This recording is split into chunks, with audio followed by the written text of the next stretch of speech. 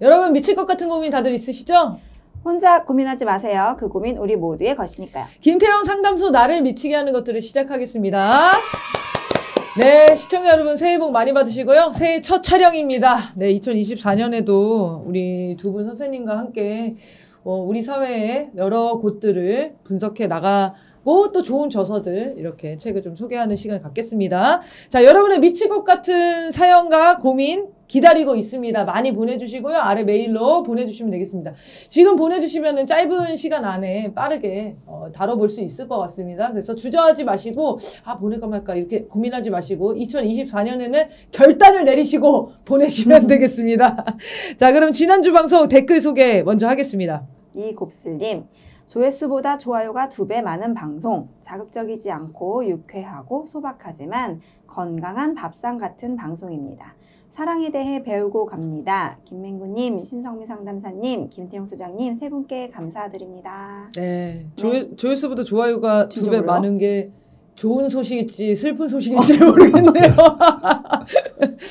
네, 건강한 밥상 같은 음. 방송이라고 해주셨네요. 네. 고맙습니다. 현상님, 세분 밸런스 참 좋습니다. 이렇게 편한 프로는 조회수가 20만 이상은 나와줘야 하는데요. 네, 안타까운 댓글들이 많이 달려 아. 네, 조회수가 엄청 낮은가 봐요.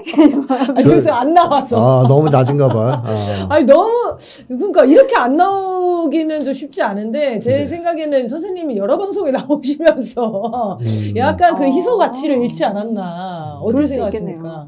좀 잘려야 돼. 선생님이 다른 방송을 잘리시는 거 저희는 기원하고 있습니다.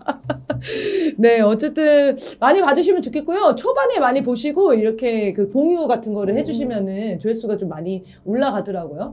그래서 저희가 다른 방송이랑 또 다르게 책 내용도 좀 주되게 다르기도 하고 아마 다른 방송과의 또 차이도 있으니까요. 많이 소개해 주시고 공유해 주시면 좋을 것 같습니다. 의정부 어부님, 문재인을 지지할 수밖에 없었던 이유는 이명박근혜를 겪었기 때문이고 그가 잘하길 바랬고 그가 개혁을 이루길 바랐기 때문이었고 그의 훌륭하다고 소문난 인격을 믿었기 때문이다.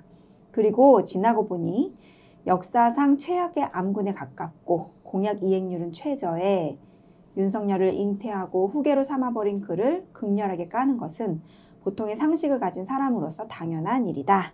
이루미님은 믿었는데 완전히 배신 때렸던 걸 나중에 알게 되면 화나는 건 당연한 거 아닌가요? 이렇게 해주셨어요. 지난 네. 방송에. 지난 방송 때 네. 이 광신적 사랑에 아. 대한 사례로 문재인 대통령을 적극 지지하다가 아, 극렬 안티로 돌아선 음. 경우에 대한 얘기를 했는데 제가 방송 말미에도 말씀을 드렸지만 이 방송 보고 화가 나면은 이상한 거다라고 했는데 실제로 정말 화가 나신 분이 있더라고요. 어, 어, 어. 그래서 제가 공격을 많이 당했습니다. 그래서 선생님 네. 얘기 아니라고 제가 아무리 해설을 해드려도 굉장히 기분이 상하셨나 봐요. 그래서 이 방송을 또 그 통해서 다시 한번 정리를 해드리면 그 상식적으로 이 문재인 대통령을 지지했던 분들과 그리고 그로 인한 이제 실망들 그 그래서 비판을 하시는 분들에 대한 이야기가 아니에요. 제가 말씀드린 경우는 일절 비판도 하지 말라고 하면서 이제 문재인 대통령을 좋아하다가 그 다음에 뭐 어떤 여러 가지 계기로 실망하실 수 있고 이유는 거의 비슷할 것 같은데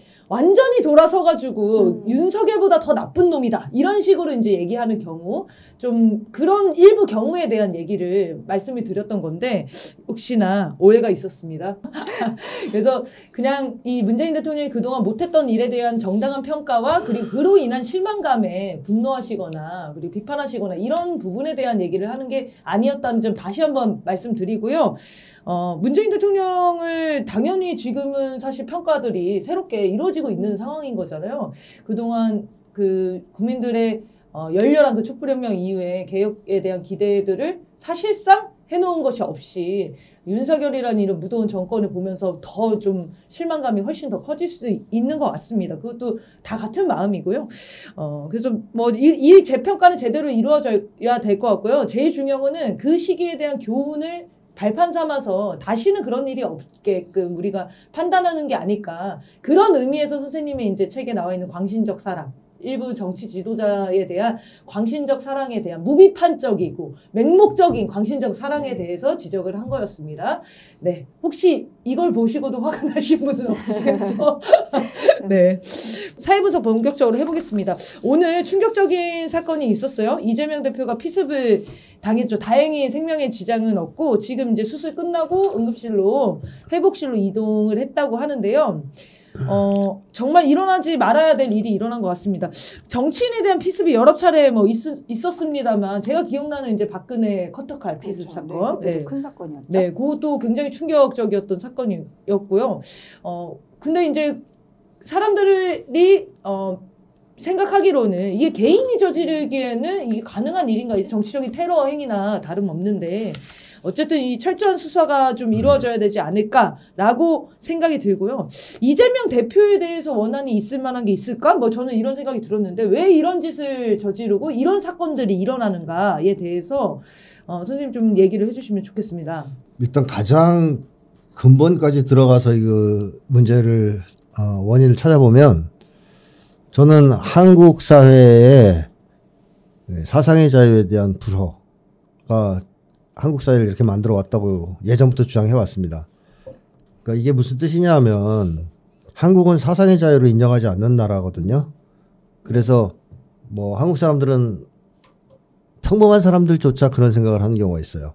빨갱이는 죽여도 된다. 그렇죠. 인간이 아니다. 광화문에 가면 그런 사람도 있습니다. 있습니다. 예. 그리고 일반인들도 빨갱이는 같이 살아가야 될 이웃으로 생각을 안 합니다. 배척하거나 죽여야 되는 사람을 생각하는데 그게 바로 사상의 자유를 부정하는 국가보안법 그리고 한국 사회가 낳은 심각한 배타주의죠. 반인간주의고. 이 문화가 절정에 이르렀던 것은 이승만 시절이었습니다. 그래서 이승만 시절에 뭐 소위 빨갱이다 그러면 막 죽였죠. 네. 어, 테러 단체들이 네. 서북 청년단 같은 조직이 어, 백주대낮에 사람들을 막 죽이고 그랬습니다. 그래서 엄청난 빨갱이 사냥이 벌어진 곳이 바로 이제 한국 사회인데요. 이러한 어, 빨갱이 사냥, 사상의 자유를 부정하는 것에 기초한 빨갱이 사냥 혹은 희생양을 만들어 사냥하는 것이 한국 사회에서 지속되다가 그나마 그것이 조금 약화되고 완화된 것이 민주정부가 들어서면서였어요. 김대중, 뭐 노무현, 문재인 정부 이런 시절에 조금 그게 약화되고 박근혜 이- 이명박 때는 다시 조금 심해졌다가 윤석열 정권이 되자 과거로 완전히 회귀한 것 같습니다. 이승만 시절로. 그걸로 밀고 갔으니까. 네. 왜냐하면 윤석열 자체가 바로 그거 사상의 자유를 부정하는 거에 기초한 네. 파쇼적 정치를 했지 않습니까? 네. 한마디로 증오의 정치, 혐오의 정치를 해왔어요. 그래서 윤석열은 공산 전체주의 세력이라는 괴상한 신조어까지 만들어가면서 그런 사람들하고 같이 할 수 없다. 음. 다 죽여야 된다는 식으로 얘기한 거 아니겠습니까? 거기에는 민주주의자, 뭐 개혁주의자, 인권운동가 다 들어가 있습니다. 네, 네. 윤석열 일당만 제외한 모든 사람들이 다 어, 들어가 거의 거의 있는데요. 윤석열 일당에 저항하는 사람 다 들어가 있어요. 네. 착한 일 하는 사람 다 들어가 있고.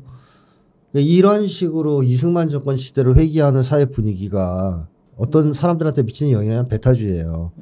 그러니까 나랑 생각이 다르면 죽여도 된다. 죽여도 된다. 어, 뭐저 사람은 죽여야 된다. 혹은 죽여도 된다. 어, 내가 싫어하는 사상을 가졌어? 죽여도 되고 죽여도 괜찮아. 이런 생각을 가지게 되는 거죠. 네. 그런 극단적인 사회 분위기가 나온 현상이 이번 테러다. 음. 그리고 사- 가짜 사랑의 기초에서 얘기하면 이게 바로 광신적 사랑이에요. 음. 광신적 사랑을 하는 사람들은 눈먼 사랑을 하지 않습니까? 맹목적인 사랑. 자기 자기가 스- 사랑하는 혹은 뭐 가짜 사랑이죠. 가짜 사랑을 하는 광신적 사랑을 하는 뭐 정치 지도자나 종교 지도자가 누구를 미워하는가, 누구를 죽여도 된다고 했는가, 누구를 음. 죽이고 싶어 하는 거에 엄청 민감해요. 음. 그래서 이 사람들은 주인이 죽이고 싶어 하는 사람 알아서 자기가 죽이려고 행동대장, 네. 예, 이제 신성한 의무라고 생각하기도 합니다. 그거를 네. 성스러운 의무. 그래서 행동에 나서서 이런 테러 행위를 일삼기도 하거든요. 뭐 또 더 조사를 해봐야 되겠죠. 근데 어쨌든 이 사람이 극단주의자라면 극단주의자라면 아마도 자기가 숭배하고 가짜로 사랑하는 그 사람이 가장 증오하는 사람, 음. 악마화 시켰던 사람을 죽이려고 했을 가능성이 높다. 이렇게 이제 봐야 되겠고 한국 사회의 이러한 테러를 발생하게 만든 저는 기본 책임은 한국의 역사적 시계를 이승만 시대로 돌린 윤석열 정권에게 있다고 보고요. 그리고 조금 더 얘기하자면 한국 사회에서 이재명 대표에 대한 악마만큼 지독하고 잔인한 악마는 없었다고 봅니다. 지금까지. 노무현 전 대통령에 대해서도 그런 악마가 있긴 했지만 지금처럼 정치 검찰과 언론이 카르텔을 만들어 가지고 총동원해 악독하게 사냥을 했던 것은 노 전 대통령 퇴임 후에요. 네, 맞아요. 어, 후기 후기에는 좀 그랬지만 그래서 결국 노 전 대통령이 거기에 피해자가 되지 않았습니까? 근데 그 이후에 이놈들이 맛을 들였어요. 재미를 붙인 거죠. 그래서 끊임없는 악마화를 해서 사람들을 벼랑 끝으로 몰아붙였는데 그 과정에서 지난해에 이성균 배우가 어, 극단적으로 생을 달리하는 선택을 하기도, 하기도 했어요. 그래서 그런 걸 봤을 때 이재명 대표에 대한 지독한 악마를 계속 해오고 감옥에 집어넣으려고 했을 때 사회 분위기상 사람들 극우 세력들은 어떻게 생각할까요? 이재명은 같이 타협하고 협치를 해야 될 정치인으로 볼까요? 아니면 죽여 없애야 될 대상으로 볼까요? 후자라고 생각하겠죠. 그래서 그런 사회 분위기가 오늘과 같은 끔찍한 사건을 발생시켰다고 저는 생각합니다. 그러니까 극우 유튜버들이 이재명 대표와 문재인 대통령 사저에 가서도 하는 짓을 보면은 네. 죽으라고 하는 거예요, 거의. 그렇습니다. 거의 무슨 살을 날리는 사람들처럼 음. 그렇게 하는데도 아무도 제재하지 않잖아요. 네. 그래도 된다고 생각하고 저는 이 테러 보니까 그 생각이 나더라고요. 예전에 재미동포 신은미 씨라고 네. 북에 그 여행 삼아 갔다 왔다가 그 이야기를 남쪽에 와- 오셔서 강연을 하는데 어떤 고등학생 친구가 폭탄을 던진 거잖아요. 현장에서 정말 많은 분들이 다쳤어요. 사제 폭탄을 만들어가지고. 네. 근데 그 친구가 이 사람은 죽어야 된다 이렇게 생각을 했댔다는 거죠. 그렇습니다. 일베 안에서도 그렇게 혐오를 계속 이제 주장을 해왔고. 네. 어, 그래서 저는 그때 그 충격이 음. 가시지가 않는데 이재명 대표에 대한 이 공격도 선생님 말씀처럼 그 혐오와 어, 네. 차별과 배타주의로 밀어 넣는 거 아닙니까 국민들한테 그렇습니다. 죽여도 된다고 그렇습니다. 부추기고 그래- 그래서 사상의 자유가 보장되는 민주국가에서는 이런 게 적어요. 이런 현상이. 왜냐하면 그 사람들은 내가 싫어하는 사상을 가졌다고 그 사람을 배척해야 된다고 생각하지 않아요. 같이 살아가면서 타협해야 된다고 생각합니다. 서로 협력하고. 그게 사실은 정상적인 사고를 가진 사람이고 또 민주국가에서의 어, 전반적인 민주주의에 대한 그 태도를 보여주는 거 아니겠습니까? 근데 한국같이 국가보안법이 있고 색깔 공격이 난무하는 나라에서는 말씀하신 것처럼 누구 국가가 금지한 사상을 가진 사람은 죽여도 된다는 심리가 팽배해요. 이것만큼 무서운 게 없거든요. 음. 사회의 잔인함, 마녀사냥 같은 분위기를 가져오는 건 없습니다. 네. 그래서 그게 아까 얘기했던 신은미 선생에 대한 테러라든가 네. 또 이재명 대표에 대한 테러, 과거로 돌아가면 김구 선생에 대한 테러, 또 여운형 선생에 대한 테러 이런 거로 이어지는 거죠. 음. 그러니까요. 저는 또 걱정되는 게 하나 더 있는데 이게 요즘 다시 이 사람들이 반응을 보니까 윤석열을 죽여야 된다 이런 음. 얘기로 또 번져 나가더라고요. 네. 그러니까 그렇 이 이재명 대표를 지지하는 분들의 마음이 그럴 수 있잖아요. 근데 이거는 누굴 지지하는 걸 떠나서 사실은 국민들이 그냥 일반적으로 정말 윤석열 죽이고 싶다 이런 정도 이제 분노감을 갖고 있는데 음. 여기에 대한 자극도 될까요? 쌍방이 그렇게 갈 수도 있는 거죠. 아, 그러니까 그게 너무 어, 너무 극단화되면. 예. 그러다가 이제 내전도 벌어지고 하는 거거든요. 그러니까요. 네. 지금 전쟁이 일어날까봐가 아니라 지금 내전 상태입니다. 내전 상태 너무 걱정되고요. 어, 일이 있은 후에 윤석열과 한동훈도 관련해서 발언을 바로 했습니다. 윤석열은 이제 폭력은 용납 안 된다. 이 대표에 대한 치료에 최선을 다해서 지원해야 한다.고까지 얘기를 했는데요. 어, 이런 반응 아주 바로 나왔고, 네. 뭐 일반적인 반응으로는 뭐 이런 일 없어야 된다. 이렇게 평소라면 이렇게 생각했을 것 같은데 치료에 최선을 다해라 라면서 되게 구체적 지침까지 내렸습니다. 그래서 이거 의아하다는 반응들이 있더라고요. 그래서 네. 윤석열의 이런 반응 좀 어떻게 보셨는지. 너무 발빨라요. 아니 근데 음. 음. 이놈들이 하나같이 폭력은 안 된다는 얘기를 하잖아요. 네. 폭력 중에서 더 무서운 게 정신적 폭력, 그렇죠. 어, 심리적 폭력이에요. 네. 어, 주먹으로 때리는 것만 폭력이 아닙니다. 그러니까 과거에는 몽둥이로 때리고 칼로 때 찌르고 뭐 이런 폭력이 주였다면 오늘날의 폭력은 주로 정신적인 폭력이거든요. 심리적인 폭력. 그렇게 봤을 때 윤석열과 한동훈이야말로 폭력의 대가들이죠. 그렇죠. 예, 이재명 대표에게 엄청난 사실 폭력. 엄청난 예, 걸 압수수색을 거 어마어마하게 아닙니까? 하면서 사람을 완전히 죽어라 죽어라 음. 기도하던 사람들이 이 사람들 네네 아닙니까? 지네가 폭력을 행사한 놈들이에요. 그래서 폭력은 용납 안 돼요 진짜.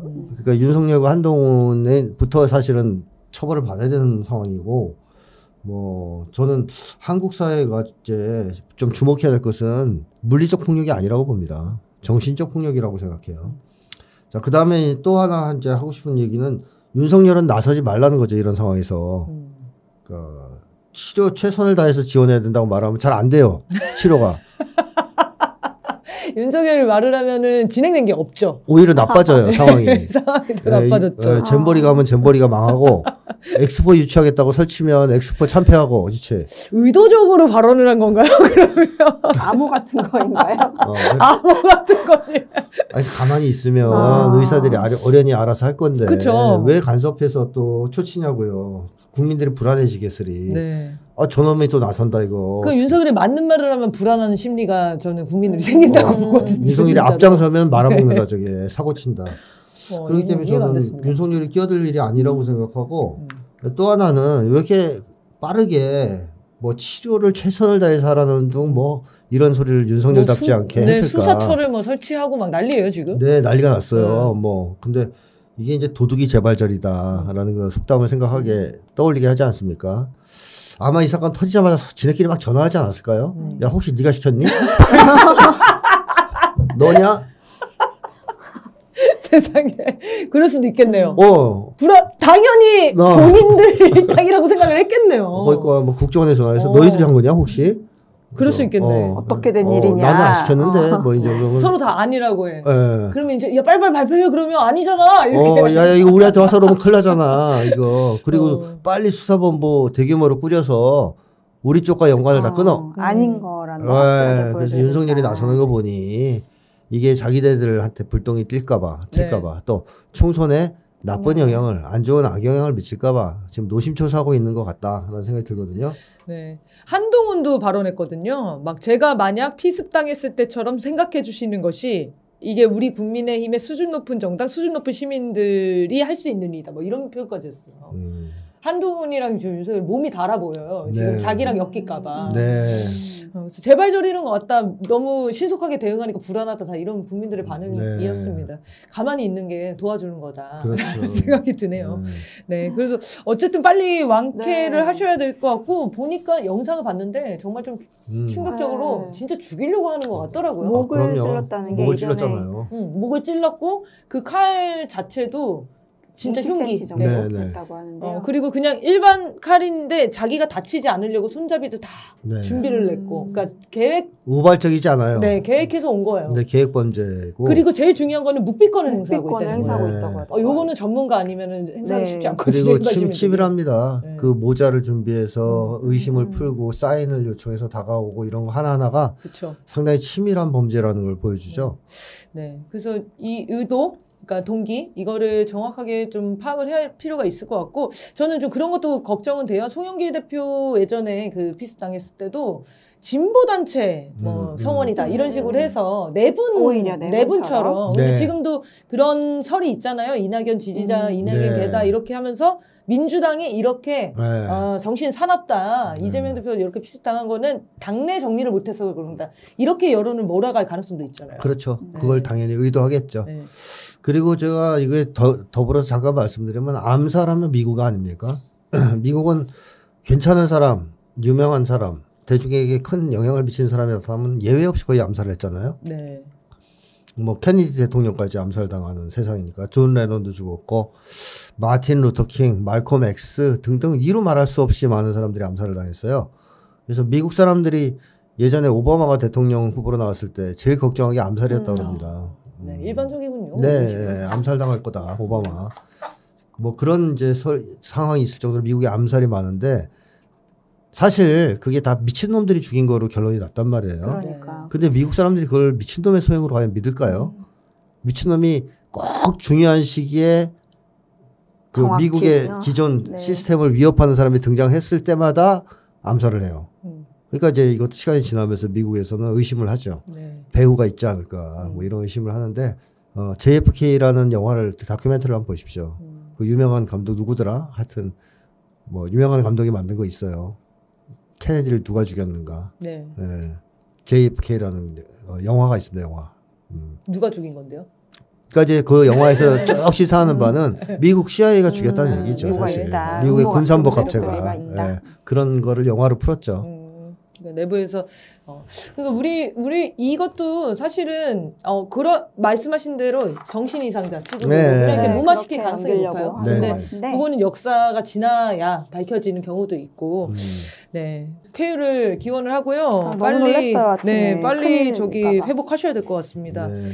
네, 그러면 이어서 다른 질문들도 좀 해보겠습니다. 네. 이재명 대표랑 이낙연 전 대표가 만났어요. 어, 근데 회동 후에 뭐 변화의 의지를 확인할 수 없었다. 그래서 신당 창당을 본격화하겠다라는 움직임을 보이고 있고요. 민주당 내에서는 지금 반대 의견도 만만치 않고요. 그 비명계 인사들도 따라서 나가진 않겠다. 뭐 이런 얘기들이 나오고 있더라고요. 민주당을 등지고 나가는 이낙연의 향후 행보 어떻게 될지 궁금한데요. 들어보니까 이번 총선 때 민주 어, 이낙연 신당에서 전체 다 후보를 내겠다는 거예요. 전 지역구에 그 정도 뭐 준비가 되어 있다라는 네. 설도 나오고 있고요. 네. 음, 어떻게 될 것 같으신가요? 아, 뭐 이낙연은 말을 갖다가 직설적으로 솔직하게 하지 않는 걸로 유명한 사람 아니겠어요? 변화의 의지를 확인할 수 없었다는 이런 진짜 귀신 씨나라고 같는 싹까먹는 소리를 할 게 아니고 공천권을 안 주더라. 달라 달라 그랬는데. 당권을 안 주더라. 어 그렇게 얘기를 해야지 무슨 이런 이상한 얘기를 합니까? 이낙연이 말하는 변화가 너무 웃겨요. 네. 내용이 없어요. 그 공천권을. 내놓으면 그런 변화가 없어 이거잖아요. 참, 참 희한한 사람이고. 자, 어쨌든 이낙연은 그 자체 개인으로 봤을 때는 파괴력이 별로 없을 것 같이 보입니다, 지금. 여러모로. 그래서, 어, 비명계에서도 지금 비명을 지르는 상황이거든요. 아, 왜, 왜 저기. 할당하고 지랄이고 뭐 이런 식의 분위기가 있어요. 그러니까 당황한 것 같던데. 네. 네. 이낙연 왜 저래 쟤? 왜 혼자 저래? 이렇게. 그렇죠. 근데 이낙연이 원래 모험을 좋아하는 사람도 아니고 그다음에 아주 용감무쌍한 사람도 아니에요. 근데 탈당을 했다. 제가 계속 얘기하지만 뒷배가 뭐 있다는 믿는 게 것입니다. 있다. 뒷배. 네, 강력한 뒷배가 있다. 실제로 지금 이낙연의 정당을 뒤에서 밀어주는 세력이 있다는 게 확인되고 있고요. 정당 음. 창당을 도와주고 있는 세력이. 음, 그 이낙연 쪽이 직접 하는 게 아니고 네. 그 세력이 해준다 그럽니다. 어, 준비 자체를 음. 준비 과정 네. 자체를. 오. 어, 정통한 소식통에 하면 어. 음. 그리고 이낙연은 그걸 백을 믿고 음. 지금 이제 설치고 있다 이렇게 이제 보여지는데 전 가장 큰 배후에는 계속 얘기하자 미국이 있지 않을까가 의심이 되고요. 음. 또 미국이 일사불란하게 한국의 극우 세력을 조종해서 보수 대연합 음모를 추진하고 있다고 봅니다. 네. 그래서 한동훈의 국진당과 이준석의 신당, 이준석. 이낙연의 신당을 끌어내서 시너지 효과를 일으키다가 음. 총선 전에 합당할 가능성은 적지만 총선 후에는 당연히 합당하겠죠. 그래서 보수 대연합을 구성해서 영구 집권을 하려는 그런 음모가 추진되고 있다. 네. 그렇다면 이낙연은 지금 해야 돼, 움직여야 돼요. 그러니까 그거 자체가 지금 비명계에게 다 전달이 안 된 상황이기 때문에 그 자세한 정보가 얘들이 놀래는 거죠. 그래서 비명을. 어, 악 하고 비명을 지르고 있어요. 전달이 안 됐어요. 근데 결국에는 같이 하겠죠? 어, 이낙연이랑. 하나씩 둘씩 설득하겠죠. 어, 지금 선을 잘 지금 선이 전달이 잘 안 돼가지고 음. 비명계는 결국에는 어차피 이낙연을 따라 나갈 거다. 그럴 가능성이 네. 높죠. 어, 저는 뭐 이후에 어떻게 이준석이랑 한동훈이랑 한 하나로 합쳐질지 네네네. 어떤 모양으로 어떤 말로 또 이렇게 그렇죠 어떤 명분이라도 네, 있어야 되는 건데. 반윤석- 없잖아요. 반윤석열. 반윤석열 음. 반윤석열, 반민주당, 비이재명 뭐 이런 네. 식으로. 근데 국민들한테 지지받기가 쉽지 않을 것 같은데요. 어, 분위기가 어떠냐에 따라 네. 달라요. 어. 그래서 지금 그렇게 쉽게 볼 수 있는 상황은 어, 아닌 것 가능성이 있다고 이- 보시는 거예요? 없지 않아요. 저 왜냐하면 지난번에 그거 보수대 연합 말씀하셨을 때 그때부터 지금 걱정이 심해져가지고 어, 아 진짜 아니, 지금 얘네들이 서로 칭찬하고 막 난리가 아니잖아요. 어. 서로 네. 만날 수 있다 막 그러질 않나. 네. 또 이준석은 한동훈한테 노태우처럼 백담사에 보내는 용, 용단을 내리라는 식으로 얘기했거든요. 어, 그런 얘기도. 한성열을 어. 아니 한성열이 한성열이 누구 윤석열을 어. 예. 이름까지 헷갈리네 이제. 음. 하나가 되어 있기 때문에. 예. 그래 그런 얘기를 하는 게 뭐겠어요. 결국 윤석열을 치고 나하고 붙자는 거잖아요. 네. 네. 그러니까 그런 걸 계속 통해서 한동훈을 끌어들이려고 할 거고 한동훈도 그런 건- 큰 세력이 밀어주고 있다면 어느 수점에서는 음. 주인을 가- 바꾸면서 윤석열과 거리를 둘 가능성이 있거든요. 네. 그래 되면 이제 반순 윤석열의 기치 아래 또 뭐 민주당에 정을 못 붙이고 있는 사람들까지 포괄해서 음. 끌어들이는 그럼 국힘당이 지금 한 30% 지지받고 있고 민주당이 대략 그 정도 되거든요. 네. 근데 윤석열을 반대하는 사람이 한 60% 되는데 30% 정도가 유동적이에요. 네.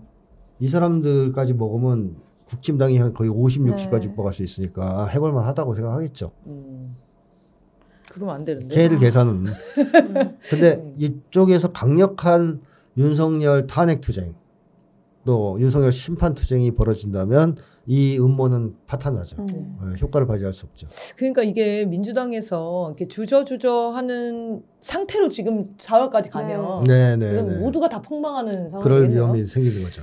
어, 네. 그런 의미에서는 이재명 대표에 대한 피습 배우도 이해가 되네요. 네. 네. 그거를 꺾기 위해서 어, 음, 이재명 음. 중심으로 음. 어떤 윤석의 탄핵의 흐름이 만들어지는 거를 꺾기 위해서 구상을 했을 수 있겠다라고. 네. 좀 김건희 특검도 지금. 관심이 확 사라졌잖아요. 네, 그러니까요. 아 그러네요. 그것도 음. 확 사라졌네요. 어, 알겠습니다. 아, 그래요. 김건희 특검법 통과됐는데요. 뭐 왜 이렇게 기쁜 거보다 이렇게 찜찜하죠? 그렇죠. 통과가 됐는데 그 다음이 꼭 있는 거 이제 음. 아직은 이제 다 진행이 덜 된 것 같죠. 음. 윤석열 거부권을 바로 행사하겠다고. 그러면 재의결을 해야 되잖아요.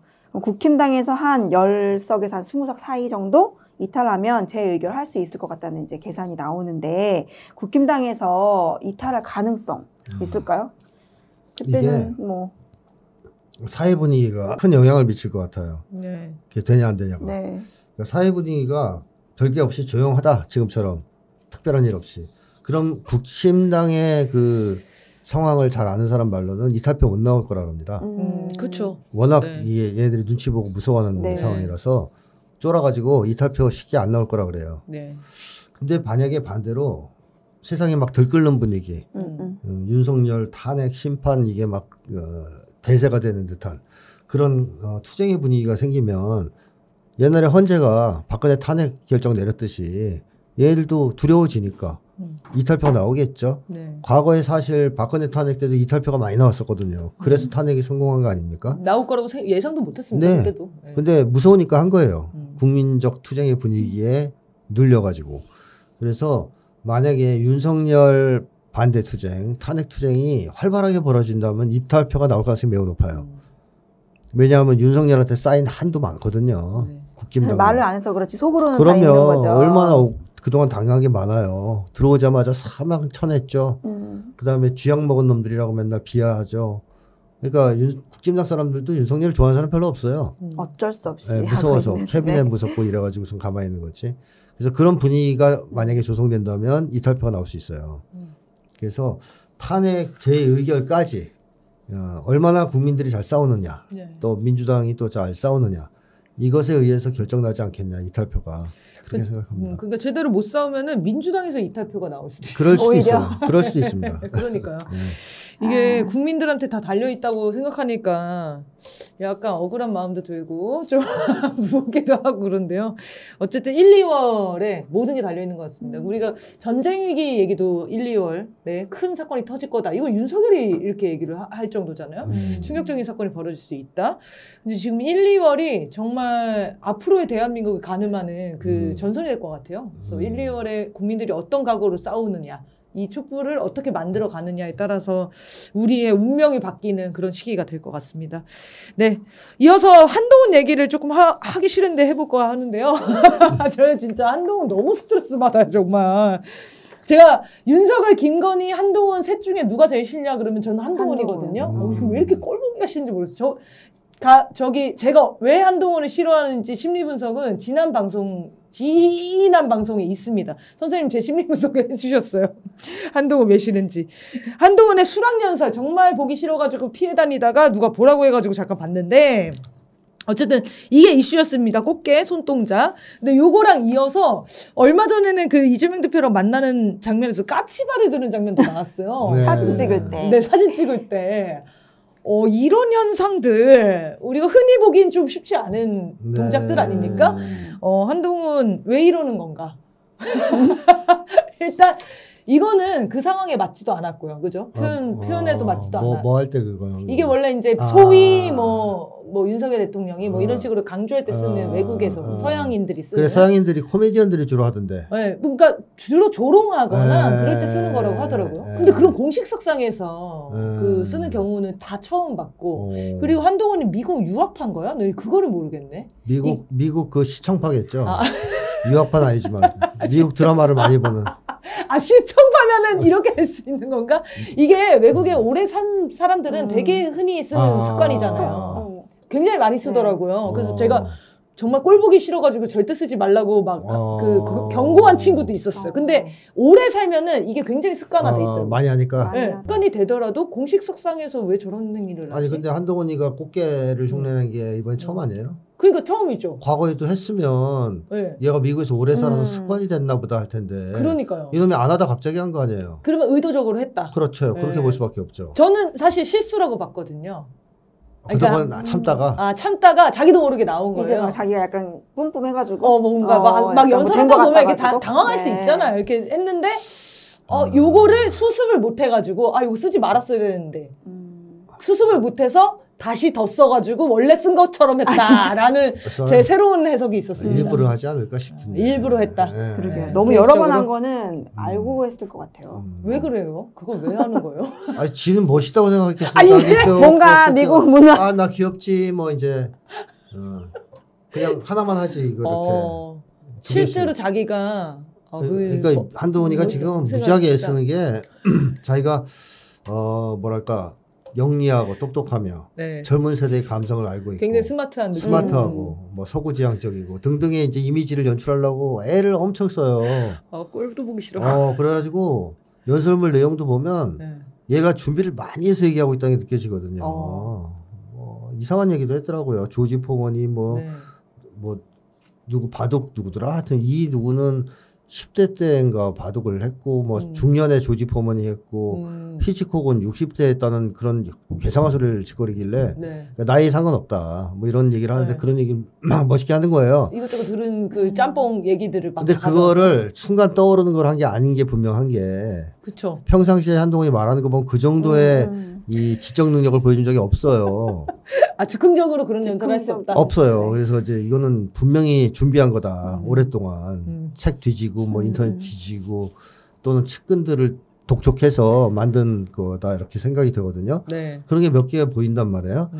그럼 한동훈이 자기가 정치인이 되면서 연출에 엄청나게 신경을 쓰고 있다. 공을 들이고 있다. 네. 이렇게 이제 봐야 될 거고 원래 한동훈 자체가 정치인으로서 연출을 필요로 하는 사람 이전에 인정 욕망이나 뭐 관심을 받고 싶은 욕망이 과도한 사람이라고 계속 계속 제가 지적을 해오지 않았습니까? 그래서 그걸 보여주는 무의식적인 행동이 바로 까치발이라고 봐요. 저는 이건 이제 습관화된 거거든요.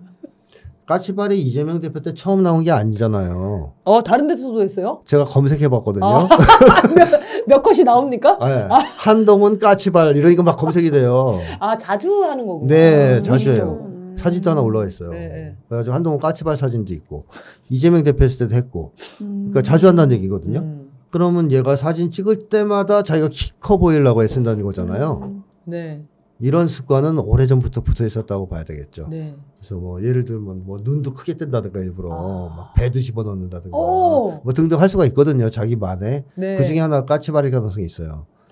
까치발은 진짜 좀 너무 티나잖아요. 우리가 표정 좋게 하고 좋게 보이려고 인상을 좋게 보이려고 하는 건 할 수 있는데 사실 너무 티나니까 무안해서라도 못 하는 네. 근데 거거든요. 구두도 이렇게 높아요 보니까 네. 한동훈이. 구두도 이만큼이에요. 그걸 또 들어요. 네.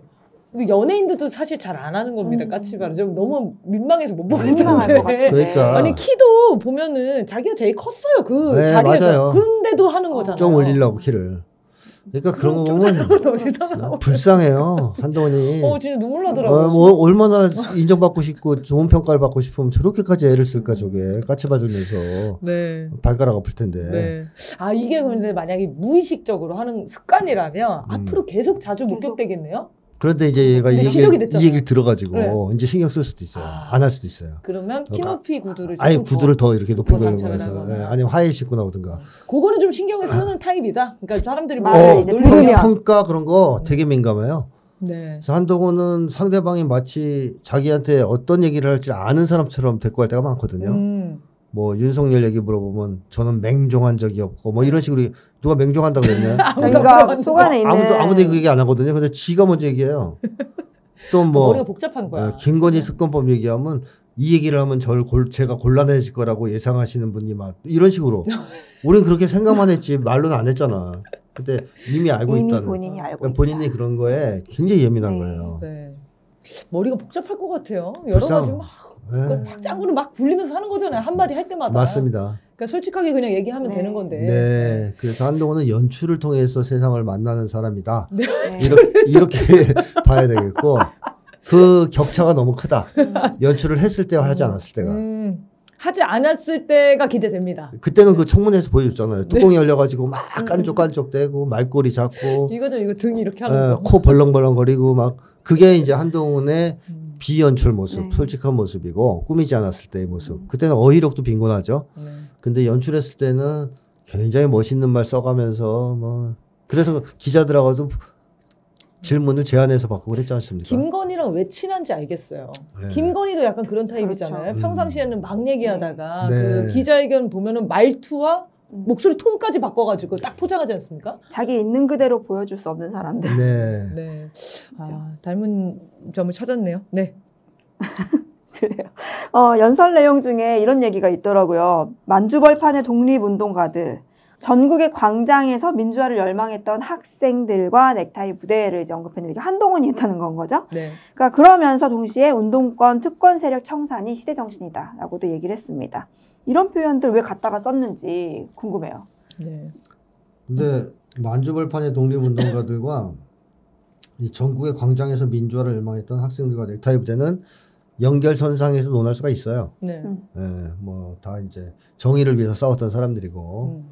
또 민족의 자주 민주 통일을 주장했던 사람들 아 뭐 이때 만주의 독립운동가는 통일이 되기 전이네 분열되기지. 음. 하여튼 그런 쪽이니까 그러니까 정의를 위해 싸운 사람으로서 또 어, 불의에 맞서 싸운 사람으로서 뭐 동질성이 있죠. 이게 역사적으로 흐르는 네. 것에서 하나라고 이을 수 있는 가능성이 있어요. 네. 한동훈이 왜 이런 걸 언급했을까? 음. 그런 그런 게 이상해요. 만주벌판의 독립운동가들 홍범도 장군이에요. 네. 말- 맞습니다. 지금 그렇게 하고 있으면서 어. 말은 네. 잘해요. 그러니까 이 사람들에 대해서 저는 적대감이 있다. 음. 한동안이 적대감이 있다. 네. 오히려. 예, 적대감이 있고 네. 질투심도 심하다. 음. 왜냐하면 자기는 비겁한 삶을 살아왔잖아요. 음. 그러니까 비겁하지 않은 삶, 용감한 삶을 살아온 사람들에 대해서 시기 질투하는 음. 그런 어떤 마음이 있지 않느냐. 음. 그래서 그런데 대놓고 훼손할 수는 없어요, 이 사람들을. 음. 홍범도 난 너무 싫어, 죽여버리고 싶어, 뭐 이렇게 얘기할 수는 없는 거 아니에요? 음.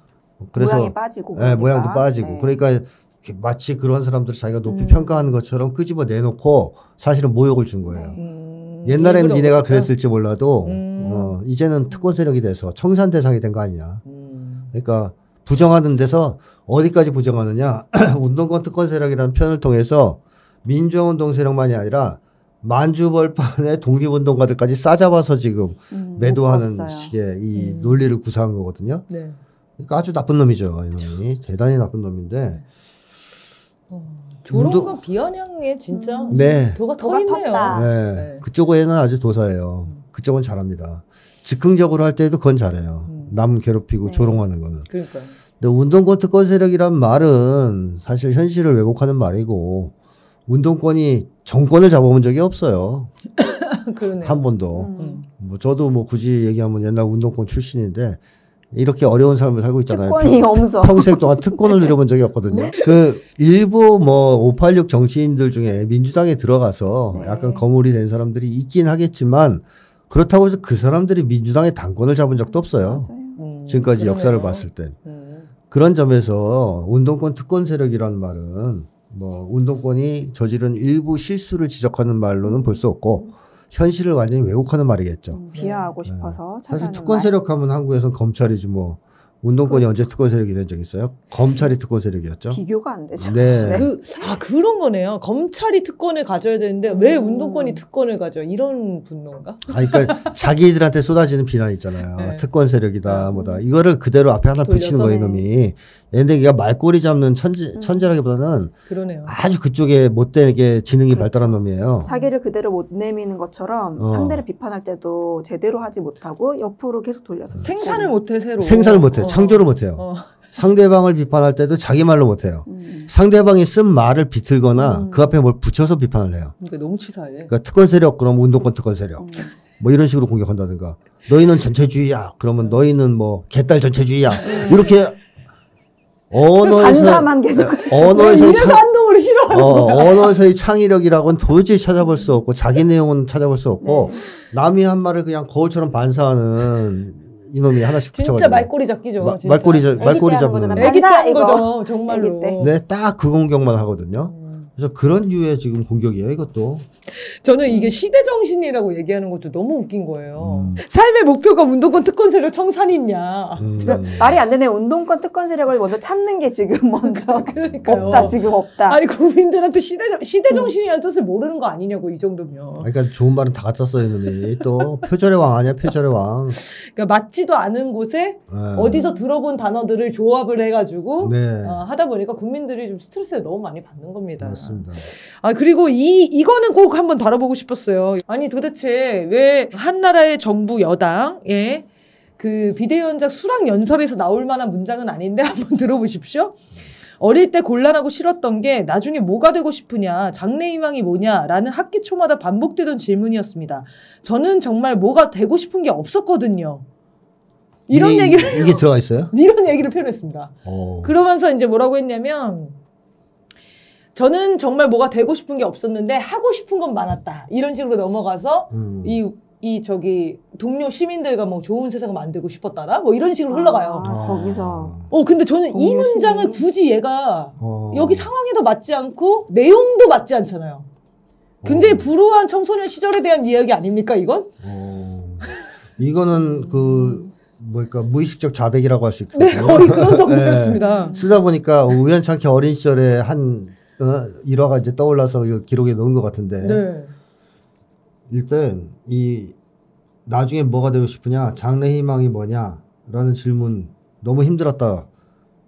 뭐가 되고 싶은 게 없었다. 그렇다면 한동훈은 어떤 아이였을까? 아마도 저는 이런 생각이 들어요.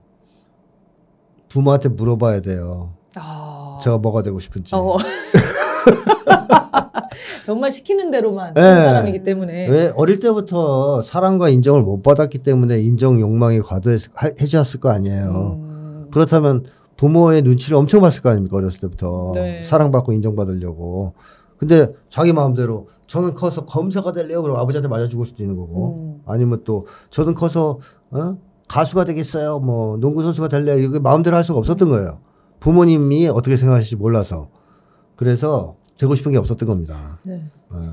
그 곤란하고 싫었던 게라고 표현한 게 인상적이더라고요. 음. 그러니까 나는 정말 하고 싶은 게 없었다. 그래서 곤란했다라는 말을 그 이유가 되- 자기가 진 있다는 거잖아요. 어, 자기가 진짜로 되고 싶은 게 없었다기보다는 네. 그거를 말했을 때 이제 곤란에 처할 수 있다. 네. 부모님이 싫어하실 수 네. 있다. 저도 되고 싶다, 되고 싶었다라는 말이 이렇게 오히려 이렇게 거꾸로 나온 것 같아요. 음. 그래서 지금 돼서 좋아하는 것 같은데. 뭐 아니 이게 꿈이었을까요? 아니 근데 검찰이 되고 싶었을까요? 저는 아닌 것 같거든요. 그렇죠. 예, 그냥 그 양육 사육 당해서 검찰이 된 거지. 음, 그래서 지금 뭐 별로 즐거울 것 같지도 않고. 네. 그래서 어렸을 때부터 참 불쌍한 아이였구나. 어, 아동기의 꿈도 네. 제대로 꿀 수 없었던. 그래서 정말 슬펐습니다. 음. 저는 저는 정말 뭐가 되고 싶은 게 없었거든요. 이거 지금 우리 2부에서 나오는 사연에나 볼 것 같은 어. 그 사연 상담 글이나 다름이 없었어요. 음. 그래서 정말 야, 이, 이 사람이 정말 우울하게 자랐구나. 안타깝게 자랐구나. 이런 연민도 좀 생기더라고요. 이 표현을 굳이 여기다가 왜 갖다 놨을까? 음. 비대위원장 수락 연설에. 그리고 저는 거기 이제 이 말이 뭐 토크쇼나 이런 뭐 이런 데 나, 그렇죠. 뭐 이런 데 나와서 했으면은 음. 어 그래 안타까운 청소년기를 보냈다 이렇게 좀 느껴졌을 것 같은데 음. 연설에서 이 말을 했다는 것은 저는 조금 더 의도가 있게 좀 느껴지고 음, 어, 이 되고 싶은 게 없었다를 음, 우리- 우리처럼 이렇게 마음 아프게 생각 안 하는 것 같아요. 아 본인이 본인이 네. 그러니까 넣었죠. 어 넣으면서 네. 그냥 어, 뭐 뒤에 문장 그러니까 하고 싶은 게 있었다. 음. 그 마- 문장으로 어떻게 이어지는지를 좀 더 정확히 알아야 이 의도를 파악할 수 있을 것 같은데. 그냥 바로 이어졌어요. 어 그냥 얘는 저는 되고 정말 싶은 게 없었던 음. 게뭐 되게 자랑인 것처럼 얘기하나? 그렇죠. 그러니까 갖다 쓴 거잖아요. 네. 자기의 그 어렸을 때 예, 추억을. 일화를. 네. 그럼 본인은 그러니까- 직면하진 못했겠네요. 근데 부지불식간에 이거 썼을 수도 있어요. 뒤에 얘기를 하려고 음. 하다 네. 보니까. 네, 갖다 끌어 예, 쓰려고. 예, 그러다 보니까 나왔을 수 있거든요. 이런 데서 보통 속마음이 드러나곤 하죠. 네. 그래서 네. 하고 싶은 거 많았을 수 있어요. 뭐 핸드폰 비번 감추기 뭐 이런 거. 가발 쓰기. 뭐. 조롱하기 뭐. 남 조롱하기, 예. 말꼬리 잡기 뭐 음. 이런 거. 근데 무의식 중에 중에 갖다 쓴 거다. 근데. 본인이 뭔지 몰라. 이게 무슨 말이 모르죠. 의미인지도 네. 몰라요. 예, 그런 건 모르죠. 아, 한동훈 씨, 우리 지금 심리 분석한 거 있으니까 한번 보시면 좋겠습니다. 자, 한동훈 얘기 여기까지 하겠습니다. 너무 스트레스 받아서 지금 우라통이 올라온 것 같아요. 자, 그러면 마지막으로 질문 하나만 더 할게요. 북한에서 진행된 조선노동당 중앙위 전원회의에서 김정은 국무위원장이 굉장히 중요한 이야기를 해가지고 지금 보도, 대대적으로 보도가 많이 이루어지고 있어요. 엄마한테 전화 왔어요. 전쟁 일어나냐고. 어. 뭐라고 하셨습니까? 그 아, 남편분도 얘기하셨잖아요. 네, 남편도 지금 김태형 쌤한테 물어봐라. 진짜 이렇게 얘기한 거냐. 진짜 이렇게 얘기했는지 빨리 확인을 해오라고 저한테 아침에 어. 주문을 넣었고, 네. 엄마 전화했더니, 성미야, 여기, 여기 내려와 있는 거 어떠니? 김치도 많이 담가놨고, 쌀도 많이 사놨다. 그래서, 정말 엄마 내려가? 네. 진짜 그러니까. 심각하게 받아들이고 계시더라고요. 네. 그러니까요. 그 북측에서 어떻게 발표를 했냐면 얘기를 했냐면 북남 관계는 더 이상 동족 관계, 동질 관계가 아닌 적대적인 두 국가 관계, 전쟁 중에 있는 두 교정국 관계로 완전히 고착됐다. 대남 사업 부분의 기구들을 정리 개편하기 위한 대책을 세우며 근본적으로 투쟁 원칙과 방향을 전환해야 한다. 그리고 주적으로 뭐 여겨야 된다. 이런 음. 표현이 있었나 봐요. 네. 그게 가장 크게 보도가 되면서 이제 남측이랑은 통일 정책을 폐기하고 음. 전쟁하겠다라고 발표했다 이렇게 보도가 왕창 이루어졌습니다. 그래서 언론에서 저도 지금 그걸. 어 저도 보고 어 이게 뭐야 이게 무슨 얘기야 이렇게 생각을 했는데 이 의미가 뭔지 가- 분석을 좀 부탁드리겠습니다. 북쪽이 통일을 포기한다는 것은 있을 수 없는 일이고요. 왜냐하면 그것은 선대 지도자들의 네. 그동안 보여. 강력한 네. 유언이었고 소망이었고 또 북쪽 주민들 모두가 강렬하게 통일을 바라고 있기 때문에 통일을 하지 않겠다는 말 절대 할 수 없어요 북에선. 네. 그렇기 때문에 통일을 포기한다는 것은 말이 안 되는 소리고 그렇다면 뭘 어, 바꾼 거냐 이번에 네. 대화 협상에 기초한 평화 통일 노선을 바꿨다 폐기했다고 봐야 됩니다. 음, 그러니까 대화 협상에 의한 평화 통일 노선이란 곧 연방제를 얘기하는 거거든요. 네. 음. 김대중 전 대통령과 김정일 국방위원장이 만나서 합의를 좀 했었죠. 낮은 단계 연방제와 남쪽의 연합 제안이 유사하다. 거기에 기초해서 통일 국가를 지향해 나가자. 이런 식으로 합의를 했었어요. 음, 이게 이게 6.15 북- 공동선언. 예, 6.15 공동선언. 음. 이게 북의 일관된 주장입니다. 1980년대부터 주장해 왔던 연방제 통일 방안이에요. 그러니까 두 개의 체제를 그대로 두고 통일을 하자. 그러려면 전쟁을 하면 안 되겠죠? 평화적 방법으로 대화 협상을 통해서 하자는 거거든요. 근데 그게 불가능하다라고 이제 그 폐기한 거예요. 안 된다. 음. 그러면 통일을 안 하겠다는 아니고 하겠다는데 평화 통일 노선을 폐기했으면 남는 거는 무력 통일밖에 없어요. 네. 그러니까 무력 통일 노선으로 정리가 된 겁니다. 무력 통일 노선으로 전환하겠다라고 발표하셨는데 저는 하겠다는 한 거죠. 아, 했다. 이미. 어 이거는 위험한데요. 그러면? 작년부터 대한민국 것들, 음. 대한민국이라는 용어를 쓴 게 그거예요. 음. 이제 완전히 이제 적대 국가로 보는 거죠. 이제는 동족 뭐 이런 게 아니고 특수관계도 아니고 네. 적대국이거나 교전 당사국이다. 그러니까 그거를 이번에 공식화한 거거든요. 그 용어가 나오기 시작했을 때 남쪽에서는 남쪽 체제를 뭐죠 북쪽이 인정했네 뭐네 하는 헛소리 하는 사람도 있었는데 그렇게 무서워하는 사람도 있었어요? 있었죠 통일 전문가라고 한 사람들이. 아이고. 근데 굉장히 위험한 상황 신호라고 봤는데 네, 그게. 이번에 정리된 거예요. 음. 자, 근데 왜 이런 인식을 갖게 됐냐면 북쪽에서 하는 얘기를 이번에 신년사를 들어보면 그겁니다. 70년을 돌이켜 봤을 때 계속 당했다는 거예요. 아무리 바뀌어도 소용이 없다는 거죠. 아무리 바뀌어도. 그러니까 민주당이 되든 뭐 이 보수 세력이 되든 음. 바뀌는 게 없더라. 그러면서 친미 사대주의에서 벗어날 수 없다는 인식을 가진 것 같습니다. 남쪽 정치 세력이. 음. 그러니까 예를 들면 김대중 전 대통령도 6.15 공동선언을 하고 미국에게 제동이 걸려서 추진을 효과적으로. 잘 못했어요. 근데 그 정도만 돼도 북쪽이 방향을 바꾸지는 않았을 것 같은데 문재인 정권에서 4.27을 비롯한 세 번의 회담을 하고 미국이 working group으로 완전히 막아버렸죠. 죄버리자 음. 아무것도 못했잖아요. 네. 그리고 오히려 이제 적대 정책을 취하기 시작했고 후반부부터 네. 그러다 윤석열이 들어서고는 아예 노골적으로 지금 핵전쟁 도발 연습 전쟁 연습까지 이제 시작하는 단계거든요. 이렇게 되자 이제 북에서 70년을 돌아봤을 때, 아, 얘, 이- 이놈들이 진짜 미국의 손아귀에서 벗어날 수 있을까, 남쪽 정치 세력이. 음. 안 되겠다, 이거. 도저히 못 벗어난다. 결론 내린 거죠. 음. 그래서 앞으로도 저는 그런 얘기를 거예요. 민주당이 되더라도 협상 없다 이거예요. 어. 이게 문제입니다. 제일 큰 문제는. 어, 음. 그러니까 어. 그렇게 딱 표현을 했더라고요. 네. 민주, 보수, 상관없다. 상관없다. 어, 그렇죠. 다 똑같다 지금. 똑같다는 거죠. 음. 70년간을 돌아봤을 때 미국의 소나기에서 절대로 벗어날 수 없다. 그렇기 때문에 앞으로 문제는 우리 미국하고 해결하겠다. 음.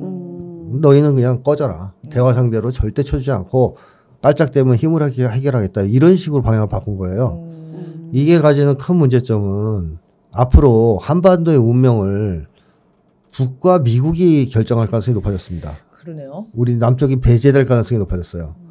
물론 이제 윤석열이가 자초한 거죠. 윤석열이가 결정타를 날린 거 아닙니까, 네. 사실.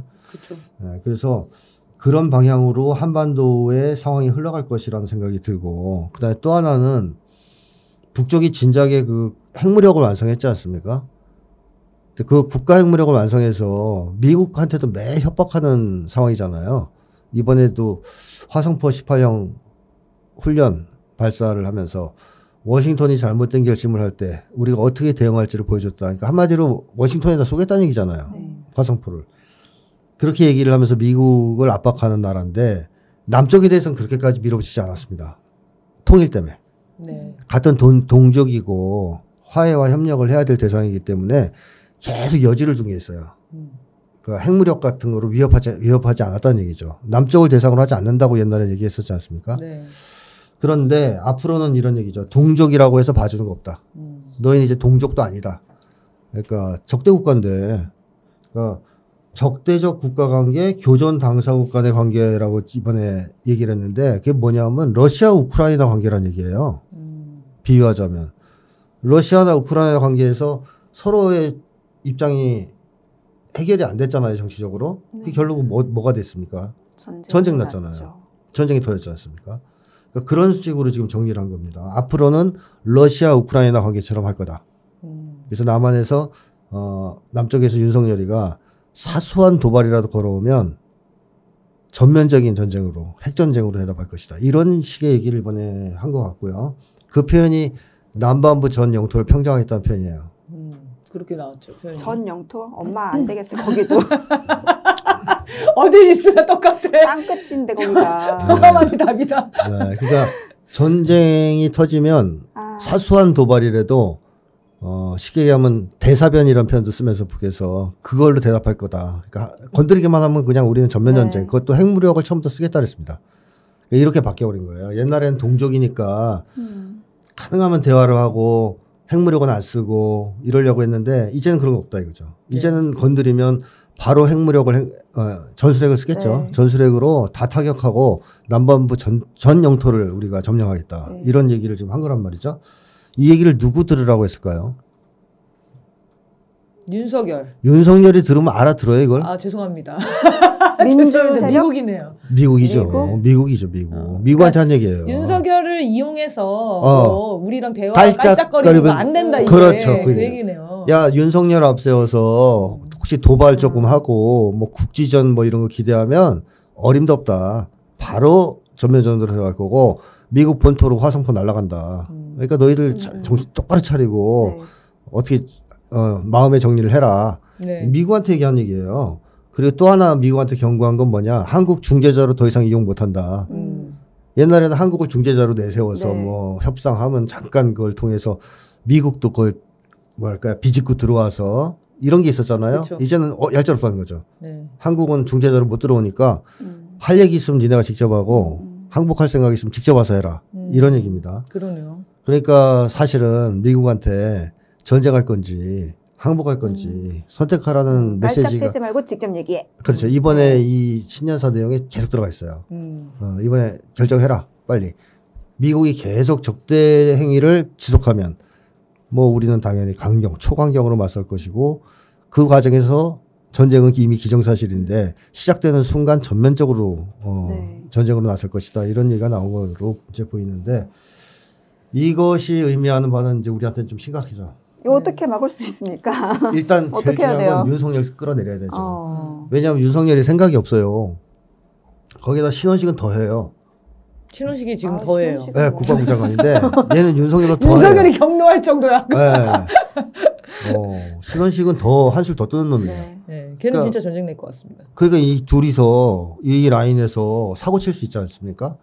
그러는 순간 바로 용산으로 행전 전술핵이 날라올 거라고 봐야 돼 이제. 윤석열이 그렇게 얘기했잖아요. 선조치유 후보고 하라고. 네네. 신년에 가서 부대 방문해가지고 네. 신혼 신혼식이 뭐 좋아 어, 이런 거 아닙니까 지금? 마, 맞습니다. 그렇죠. 네. 그리고 무조건 대응해라 이렇게 이제 나오고.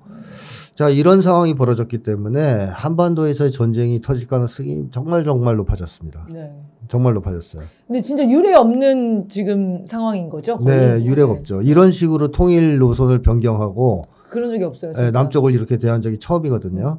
그래도 여지들은 다 대화 평 대화의 여지들을 다 열어놨었는데 지금 있었죠. 완전히 다 닫은 거 없어요. 아닙니까? 예. 그래서 여기 표현에 이제 대남사업 부문의 기구들이 정리 개편한다. 이 이 말은 그동안 뭐 교류 사업을 위해서 남겨놨던 그런 건 네. 이제 안 하겠다. 대화 안 한다는 겁니다. 어, 이런 거. 그래 실질적으로 오늘 최선희 외무상이 만나서 정리 작업에 들어갔어요. 네. 벌써. 예. 빠르게 조치가 네. 이루어지고 있더라고요. 그리고 군사 지휘관들도 31일 날 만나서 전쟁은 기정사실이다. 이렇게 얘기하면서 음, 만약에 시작되면 남반부 전령 도평정 또 얘기했고요. 음. 그러니까 이런 상황을 봤을 때 미국과 한국이 올해 8월에 핵전쟁 연습을 전제로 한 한미 합동훈련을 하려고 지금 계획하고 있어요. 공개했습니다, 이미. 음. 그 작전은 예정과 달리 북에 대한 핵공격을 하는 것을 포함시키고 있습니다. 그래서 북쪽에서 이거를 그대로 두고 볼 가능성이 없거든요. 네. 그래서 한반도가 정말 위태로운 상황으로 지금 들어가고 있다. 네. 이렇게 봐야 될 것 같고 윤석열을 일단 끌어내려야 뭐가 여지가 있어요. 그 다음에.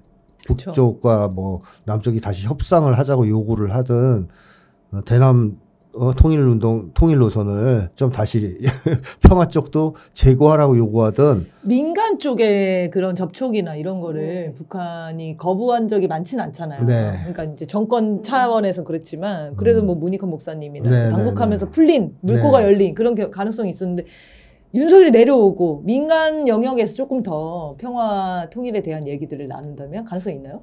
그 민주당이 집권했을 땐 가능성 없다고 봐야 돼요. 음. 민주당이 집권하면 북쪽에서 거절할 가능성이 매우 높아요. 음. 지금 나온 얘기로는. 네. 그런데 만약에 민간 쪽과 함께 연립정부, 음. 그러니까 민주당 단독이 아니라 네. 진보 세력과 함께 연립정부가 서면 북쪽에서 입장을 바꿀 가능성이 있죠. 아 그러네요. 그러면 네네. 민주냐 보수냐라고 표현을 했거든요. 맞습니다. 예. 민주 연합 정당은 다른 거잖아. 예. 어, 그럴 그래서 수도 있겠는데요. 예, 남쪽이 그러니까 북쪽에서 계속 문제 제기하는 것은 대미 자주성이거든요. 음. 그러니까 미국에 대해서 너희가 벗어날 수 있는 능력이 없는 걸 확인했다 음. 70년 동안. 그러니까 앞으로도 필요 없다는 거잖아요. 근데 그걸 벗어날 수 있으려면 남쪽이 적어도 자주정부가 서야 됩니다. 네. 민족 자주정부. 미국의 영향을 받지 않는 정치 세력이 있어야 되는 있어야 거죠. 되는 거죠. 같이 네. 포함되어 있어야 되는 거죠. 민주당을 끌고 나올 수 있을 정도에. 그런 그런 정도의 상황이 돼야 이게 아마 다시 방향이 바뀌면 바뀌지. 그러면. 만약에 그냥 정권 교체가 돼서 민주당이 되었다래도 아마 대화 안 할 겁니다. 음, 이미 알고 있 으니까. 네, 문재인 때. 당해봤다 이렇게 네. 얘기를 할 거예요. 그렇죠. 그렇죠.